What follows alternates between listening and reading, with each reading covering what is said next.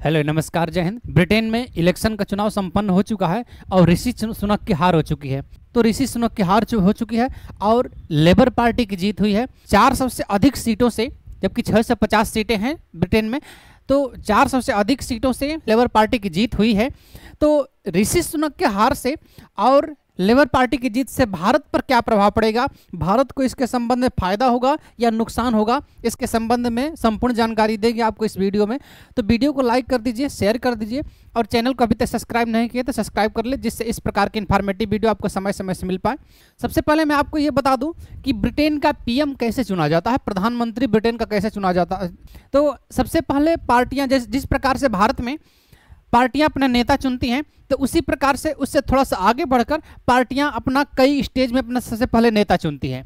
यानी कि नेता का चुनाव पहले कर हो जाता है पार्टियों में, सभी पार्टियों में नेता का चुनाव पहले हो जाता है कि प्रधानमंत्री पद के लिए नेता का उम्मीदवार कौन होगा।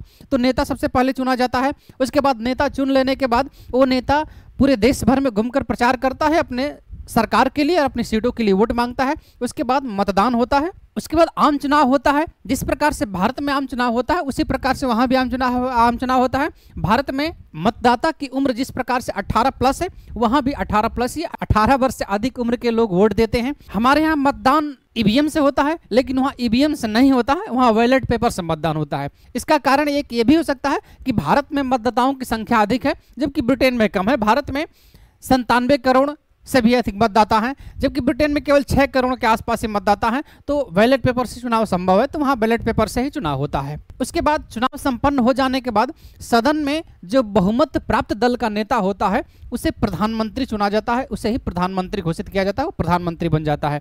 अब हम आपको समझा दें कि भारत के और ब्रिटेन के संसदीय प्रणाली में मुख्य अंतर क्या है? देखिए, जो संसदीय प्रणाली होती है, संसदीय प्रणाली केंद्र व राज्य स्तर पर होती है, केंद्र स्तर पर भी होती है और राज्य स्तर पर भी होती है। केंद्र स्तर पर अपना अलग प्रणाली होती है, राज्य स्तर पर अपना अलग प्रणाली होता है। संविधान दोनों के लिए एक ही है, संविधान दोनों को अलग अलग पावर देता है। अनुच्छेद चौहत्तर और पचहत्तर केंद्र स्तर पर संसदीय प्रणाली के बारे में बात करता है, जबकि अनुच्छेद एक और एक ये राज्य स्तर पर संसदीय प्रणाली के बारे में बात करता है। संसदीय सरकार जो होता है, इस सरकार को कैबिनेट सरकार भी कहा जाता है। कैबिनेट सरकार या क्योंकि इसमें कैबिनेट मंत्री विभिन्न प्रकार के कैबिनेट मंत्री चुना जाता है और वो कैबिनेट मंत्री ही सरकार चलाते हैं अपनी योजनाओं के माध्यम से।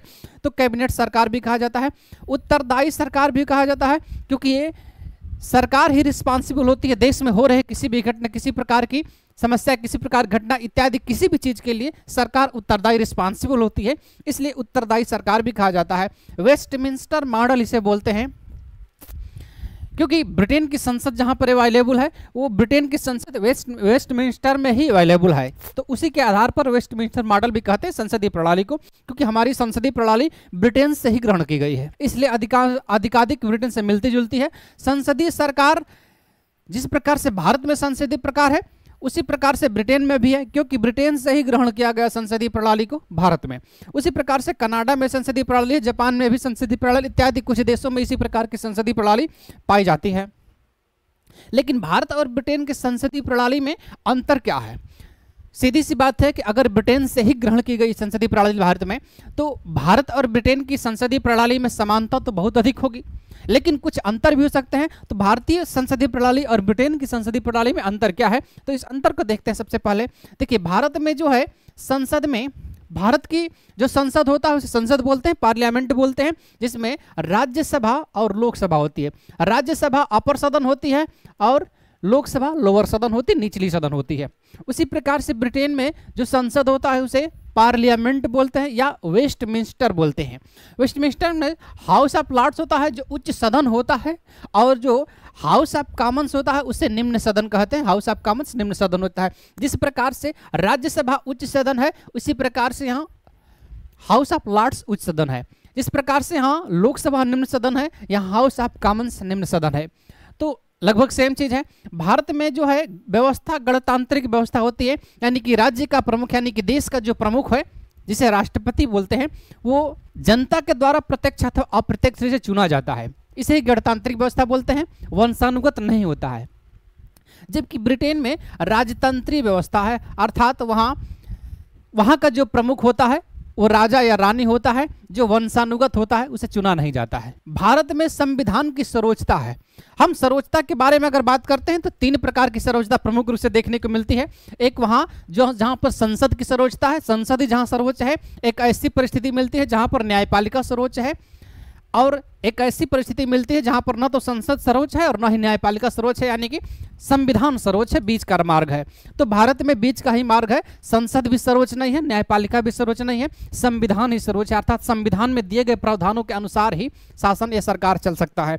तो इसलिए भारत में संविधान की सर्वोच्चता की बात की गई है, लेकिन ब्रिटेन में संसद की सर्वोच्चता है संविधान की सर्वोच्चता नहीं है। संसद जो कानून बनाती है, वही संविधान में हो जाता है और संविधान के परे जाकर भी हो सकता है। इसलिए वहाँ संसद की सर्वोच्चता है। भारत में लिखित एवं निर्मित संविधान है। लिखित संविधान यानी कि भारत का जो संविधान है, उसे लिखकर और निर्माण किया गया है, उसका एक दिन निर्माण किया गया है और लागू किया गया, जैसे 26 नवंबर, जैसे 26 नवंबर उन्नीस सौ उनचास को लागू किया लिख कर बनकर तैयार हुआ था और 26 जनवरी उन्नीस सौ पचास को लागू कर दिया गया था। इसको अच्छी तरह से आप जानते हैं। तो भारत का संविधान लिखित और निर्मित संविधान है, जबकि ब्रिटेन का संविधान मौखिक एवं विकसित संविधान है। मौखिक संविधान का मतलब जिस संविधान के अधिकांश प्रावधान लिखित रूप में नहीं होते हैं, ऐतिहासिक परंपराओं के रूप में होते हैं, उसे ही मौखिक संविधान बोलते हैं। विकसित संविधान जब ऐतिहासिक परंपराओं के रूप में होंगे, लिखित रूप में नहीं होंगे तो सीधी सी बात है कि धीरे धीरे उसका विकास होता जाएगा, परंपराएँ बनती जाएँगी तो इसलिए विकसित संविधान है। भारत का संविधान लिखित और निर्मित, जबकि ब्रिटेन का मौखिक और विकसित संविधान है। भारत में जो प्रधानमंत्री है, वो किसी भी सदन से होते हैं, राज्यसभा से भी हो सकते हैं, लोकसभा से भी हो सकते हैं। फॉर एग्ज़ाम्पल के लिए नरेंद्र मोदी जो प्रधानमंत्री हैं, लोकसभा से ही हैं, लेकिन इससे पहले जो प्रधानमंत्री थे डॉक्टर मनमोहन सिंह, वो राज्यसभा से प्रधानमंत्री थे। तो बहुमत तो लोकसभा में ही होना चाहिए। जो बहुमत दल का नेता है, उसका बहुमत तो लोकसभा में ही होना चाहिए। लेकिन वो स्वयं किसी भी सदन से हो सकता है, राज्यसभा से भी हो सकता है, लोकसभा से भी हो सकता है। जबकि ब्रिटेन में ऐसा नहीं है। जो ब्रिटेन का प्रधानमंत्री है, वो House of Common House of Common निचली सदन हाउस ऑफ़ कॉमन से ही होना चाहिए। हाउस ऑफ़ लॉर्ड से नहीं होना चाहिए।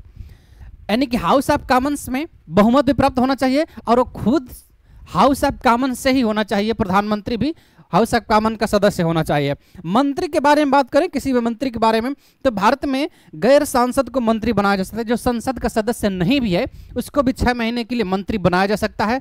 अथवा दोनों सदनों में से राज्यसभा और लोकसभा में से, दोनों सदनों में से किसी भी सदन में से उठाकर किसी सदस्य को मंत्री बनाया जा सकता है, जबकि ब्रिटेन में केवल संसद के सदस्यों को ही मंत्री बनाया सकता है। जो गैर सांसद हैं उन्हें मंत्री नहीं बनाया जाता जिस प्रकार से भारत में छह महीने के लिए बनाया जा सकता है। हालाँकि छह महीने बाद उन्हें संसद का सदस्य बनना अनिवार्य होता है, वरना मंत्रित्व तो चला जाता है। लेकिन ब्रिटेन में ऐसा कुछ नहीं होता, एक दिन के लिए भी नहीं बनाया जा सकता है। भारत में विपक्ष का नेता, विपक्षी दल होता है और विपक्ष का नेता होता है जो विपक्षी दल का प्रमुख नेता होता है, अपना नेता होता है, उसे विपक्ष का नेता कहते हैं। विपक्ष का नेता के लिए कुछ शक्तियाँ होती है, इसके बारे में वीडियो बना चुके वहाँ पर देख सकते हैं। जबकि ब्रिटेन में ऐसा नहीं है, विपक्ष का नेता नहीं होता ब्रिटेन ब्रिटेन में सैडो कैबिनेट होता है। सैडो कैबिनेट के बारे में हम बता दें आपको कि जो सरकार के मंत्री होते हैं उन सभी मंत्रियों के समतुल्य एक सदस्य खड़ा कर दिया जाता है विपक्ष के द्वारा जो उन मंत्रियों के कार्यों पर नज़र रखते हैं। जैसे कि अगर सरकार का गृह मंत्री है तो विपक्ष के द्वारा एक सैडो होम मिनिस्टर खड़ा किया जाए यानी कि एक, एक सदस्य खड़ा किया जाएगा जिसका काम होगा सरकार के गृह मंत्री पर नज़र रखना। और वो सिर्फ़ वही काम होगा उसका सिर्फ़ नज़र रखता रहेगा। और नज़र रखता रहेगा तो उस काम में वो माहिर भी हो जाएगा और जब उस अगली बार उसकी सरकार बनेगी तो उसी को गृह मंत्री बना दिया जाएगा। ये एग्ज़ाम्पल है। इस प्रकार से सभी मंत्रियों के समतुल्य विपक्ष का एक सदस्य होता है, जिसे सैडो मंत्री बोलते हैं सैडो मिनिस्टर बोलते हैं। इसके संबंध में हमने वीडियो बनाया है। वीडियो जाकर देख सकते हैं। भारत और ब्रिटेन के बीच संबंध की क्या होगा? केयर स्टारमार जो लेबर पार्टी के नेता हैं, वो प्रधानमंत्री बनेंगे। और जब प्रधानमंत्री बनेंगे तो भारत और ब्रिटेन के बीच संबंध किस प्रकार से बिगड़ेगा या किस प्रकार से सुधरेगा, इसके संबंध में अगर हम बात करें तो लेबर पार्टी, पहले से लेबर पार्टी के संबंध भारत से अच्छे रहे हैं। जब भारत की स्वतंत्रता चल रही थी, उस समय भी लेबर पार्टी ने इसके समर्थन किया था, भारत की आज़ादी का समर्थन भी किया था लेबर पार्टी ने। तो ऐतिहासिक काल से लेबर पार्टी के साथ भारत के अच्छे संबंध रहे लेकिन 2019 में एक प्रस्ताव पास किया था 2019 में एक अधिवेशन हुआ था, जैसे हर पार्टी का अधिवेशन होता है, वहाँ भी उनका अधिवेशन होता है। तो 2019 में एक अधिवेशन होता है, अधिवेशन हुआ, जिसमें प्रस्ताव पास किया गया, और प्रस्ताव पास किया गया कश्मीर के मुद्दे पर, कि कश्मीर में मानवीय संकट की स्थिति आ गई है, और मानवीय संकट की स्थिति आ गई इसलिए कश्मीर को आत्मनिर्णय का अधिकार मिलना चाहिए, कि कश्मीर स्वयं निर्णय लेगा कि वो किसके साथ रहेगा, भारत के साथ या पाकिस्तान के साथ, या स्वतंत्र रहेगा तो स्वयं निर्णय लेगा। हालाँकि इस चीज़ से कियर स्टारमर जो है, कियर स्टारमर जो लेबर पार्ट लेबर पार्टी के प्रमुख नेता थे, उन्होंने इस बयान से खुद को दूर कर लिया था और उसने कहा कि कश्मीर भारत और पाकिस्तान का आपसी मामला है। कश्मीर भारत और पाकिस्तान का आपसी मामला है और इसमें इंटरनेशनल इंटरफेयर की कोई ज़रूरत है नहीं।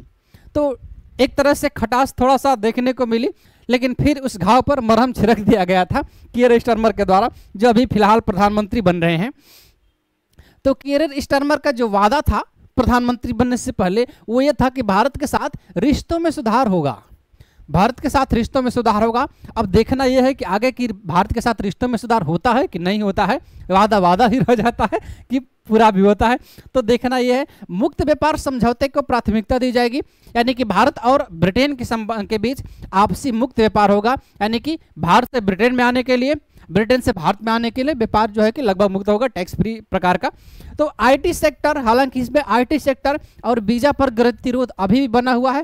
इसमें 26 कुल बिंदु हैं। इस बिंदुओं पर व्यापार मुक्त समझौते में कुल 26 बिंदु हैं। लेकिन अधिकांश बिंदुओं पर समझौता, अधिकांश बिंदुओं पर दोनों देश सहमत हैं। लेकिन दो ऐसे अभी भी प्रमुख मुद्दे हैं जो आईटी सेक्टर और वीज़ा को लेकर। इस पर आपसी मतभेद बना हुआ है अभी भी। 2023 तक भारत और ब्रिटेन के संबंध को भारत और ब्रिटेन के बीच व्यापार को दोगुना करने का लक्ष्य भी दिया था इन्होंने, और वैध प्रवासियों की संख्या को कम करेगी सरकार। इन्होंने ये भी वादा किया था कि अगर हम प्रधानमंत्री बनते हैं तो वैध प्रवासियों की, यानी कि यानी कि ऐसे लोग जो ब्रिटेन में वैध रूप से रह रहे हैं, वैलिड रूप से रह रहे हैं, उनकी संख्या को कम की जाएगी और अवैध प्रवासियों को रोकेगी।